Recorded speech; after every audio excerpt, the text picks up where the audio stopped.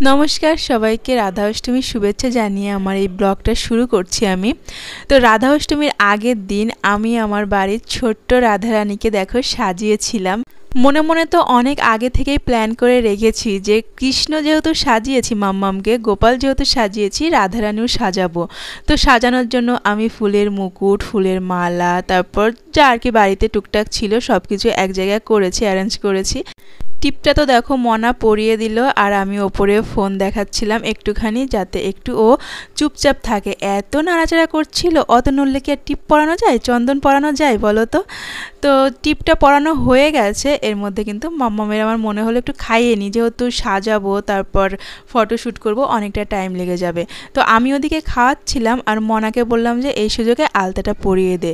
কিন্তু এই দিনকার আমাদের সাজানো গোছানো সবটাই মানে পণ্ডশ্রম হলো, বৃথা হয়ে গেল সব কিছু মাম্মাম এত কান্নাকাটি শুরু করল সাজগোজ করানোর পর কিছুতেই জামা পরবে না, কিছুতেই আর কি লেহেঙ্গা যেটা পরাচ্ছিলাম ওটা পরবেই না। এত কান্নাকাটি করছে, তারপরে বাধ্য হয়ে সব কিছু খুলে রাখতে হলো। তারপর পরদিন আবারও চেষ্টা করেছিলাম, তো সেদিন সফল হয়েছি। আর এই দেখো, এই মুকুটটা সেদিনকে বাজারে গিয়ে কিনে এনেছি। বিশ্বকর্মা পুজোর আগের দিন আমি গিয়েছিলাম। আর এই মুকুটটা কি করেছিলাম জানো? ফ্রিজে রেখে দিয়েছিলাম। ভালো করে প্লাস্টিকে পেঁচিয়ে রেখে দিয়েছিলাম এই মালাটা। ভেবেছিলাম এই মালাটা হাতে চুরির মতো করে পরিয়ে দেব। কিন্তু মেয়ে তো আমার কিছুতেই কিছু পরবে না। আর এই যে জামাটা দেখতে পাচ্ছ, লেহেঙ্গাটা, এটা আমি মাম্মামকে বানিয়ে দিয়েছিলাম মাম্মামের অন্নপ্রাশনে। এটা পরে মাম্মাম প্রথম ভাত খেয়েছে। আর একটু চুল বড় বড় হলে আর একটু বেশি ভালো লাগতো, মিষ্টি লাগতো দেখতে। কিন্তু কি করা? পরের বার নিশ্চয়ই মাম্মার চুল বড় থাকবে। আর ভাবছি খুব তাড়াতাড়ি মাম্মার চুল কাটবো না। আর এই দেখো চুলটা কোনো রকম একটা রাবার দিয়ে পেঁচিয়ে দিয়েছিলাম, কিন্তু মনে হচ্ছে ভালো লাগছে না, পরে খুলে দিয়েছিলাম। আর এখনই শুরু হবে মাম্মার কান্নাকাটি।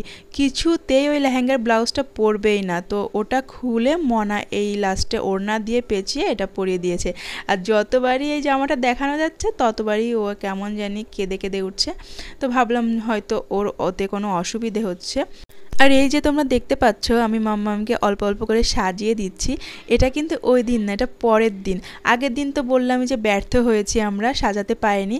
আর এই দেখো মাম্মামকে সাজিয়ে গুজিয়ে নিয়ে এসেছি ছাদে। আসলে ঘরের মধ্যে জায়গাও অল্প, আর সেরকম আলোও নেই।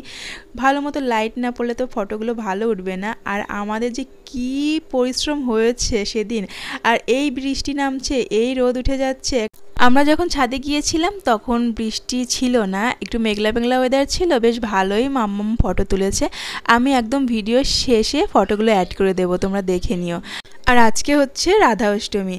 আজকে সকাল সকাল আমি আর মা উঠে পড়েছি। আজকে তিথি আছে সাতটা পর্যন্ত, তো সাতটার মধ্যেই পুজোটা শেষ করতে হবে।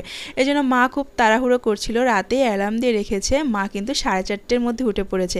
আমি একটু পরে উঠেছি, ওই পাঁচটা সাড়ে পাঁচটায় উঠেছি। মায়ের দিকে পুজোর জোগাড় যন্ত্র হয়ে গেছে। আর আমি ওদিকে কোনো রকম একটু বড়া টড়া একটু মালপোয়া বানাচ্ছিলাম। আসলে এত ভোর ভোর তো আর এত কিছু জোগাড় যন্ত্র করা যায় না। কিন্তু রাধা অষ্টমী বলে কথা, জন্মাষ্টমীতে এত আয়োজন করেছি রাধা অষ্টমীতে করব না, তা কি হয় বলো তো? তো আমি শুনেছি জন্মাষ্টমী করলে নাকি রাধা অষ্টমী করতে হয়। তোমরা করছ তো রাধা অষ্টমী তো মা ওই কোনো রকম মালপোয়া আর কলার বড়া বানিয়েছিল। এখন তো তাল পাওয়া যায় না যাও পাওয়া যায় অনেক দাম, প্রচুর দাম। জন্মাষ্টমীতে যত দাম হয়েছিল, বাপরে বাপ, দুশো টাকা করে একটা তাল আমাদের আগে থেকে এনে রেখেছিল বলে রক্ষে ফ্রিজে রেখে দিয়েছিল মা স্টোর করে। আর এই দেখো, আমি যে পাশ থেকে উঠে এসেছি, এই মহারানী কি আর শুয়ে থাকবে? ইনি উঠে পড়েছে। আর ওদিকে মোটামুটি ভাজা কমপ্লিট হয়ে গেছে, আর এখন সাতটা বাজতে ওই দশ মিনিট মতো বাকি আছে, মা পুজোয় বসে যাচ্ছে। আর এখন আমি মাম্মামকে কোলে নিয়ে ওই শতনামের বই পড়ব, তারপর রাধা অষ্টমীর যে ব্রত কথা বই আছে সেগুলোই পড়ব, কিন্তু মাম্মাম খুব বিরক্ত করছিল বলে আমি ওকে দিয়ে, ওর পাপাকে দিয়ে পাঠিয়ে দিয়েছি যে একটু ঘুরিয়ে নিয়ে আসো ওকে। তো ও ঘুরতে গেছে? আগের বছরও মাম্মামকে রাধা অষ্টমীতে রাধা সাজিয়েছিলাম। কিন্তু ও কী জানি এত কান্নাকাটি করছিল বলে ঠিকঠাক ফটোই তুলতে পারলাম না। তখন তো ছোট ছিল। ভাবলাম যে এবার হয়তো ঠিকঠাক তুলবে, কিন্তু এবারও দিন মতো কান্নাকাটি শুরু করে দিল। সেদিন হয়নি, পরের দিন হয়েছে। তো আজকে আর ভিডিওটি বেশি বড় করছি না। আজকের মতো এখানেই শেষ করছি। তোমরা ফটোগুলো দেখতে থাকো। টাটা।